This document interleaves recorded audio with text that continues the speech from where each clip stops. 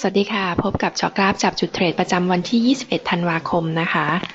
แล้วก็มาเริ่มจากภาพตลาดนะคะ จะเห็นว่ามีการย่อตัวลงมาตามสัญญาณขายที่เกิดขึ้นในกราฟ 60 นาที แต่ว่าเริ่มดูมีดาวไซด์ต่ำนะคะ เพราะว่าเครื่องมือที่ลงมาอยู่ในเขตโอเวอร์โซนะคะทำให้เรามองว่าอย่างน้อยเนี่ย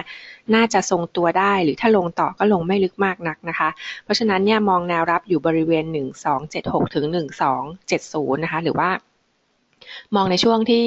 เปิด แก็บไว้ระหว่างวันที่ 14 กับวันที่ 15 นะคะ ตามกราฟ 60 นาทีนะคะ แล้วก็ถ้าหากว่าหลุดต่ำกว่า 1270 แนะนำว่าให้ถอยออกมาดูสถานการณ์ก่อน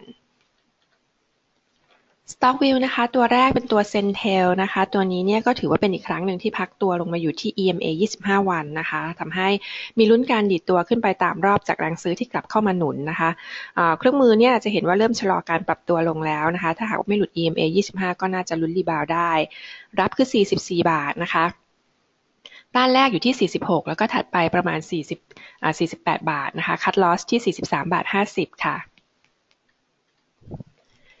ถัดมาเป็นตัวสเต็กนะคะ ตัวนี้เนี่ยจะเห็นว่าเครื่องมือตัวหลักๆ กลับมาส่งสัญญาณซื้อ แล้วก็อยู่ในทิศทางที่ยังเดินหน้าได้นะคะ พร้อมกับแรงซื้อที่เข้ามาหนุนนะคะ น่าจะทำให้ดีดตัวขึ้นไปยืนบน EMA 75 วันได้สำเร็จ แนวรับจะอยู่ที่ 24 บาท 20 สตางค์นะคะ แนวต้านก็ประมาณ 25ถึง25 บาทสลึง แล้วก็คัดลอสที่ 24 บาทค่ะ ตัวสุดท้ายนะคะจะเป็นตัวแพลน B นะคะ ตัวนี้เนี่ยจะเห็นว่า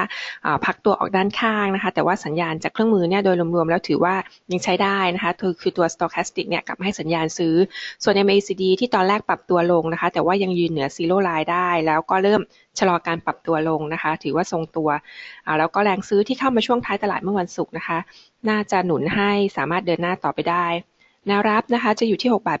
80 ต้าน7บาท15 ถึง7บาท25 แล้วก็คัดลอสที่6บาท70 สตางค์ค่ะสำหรับวันนี้มีเพียงเท่านี้ค่ะ สวัสดีค่ะ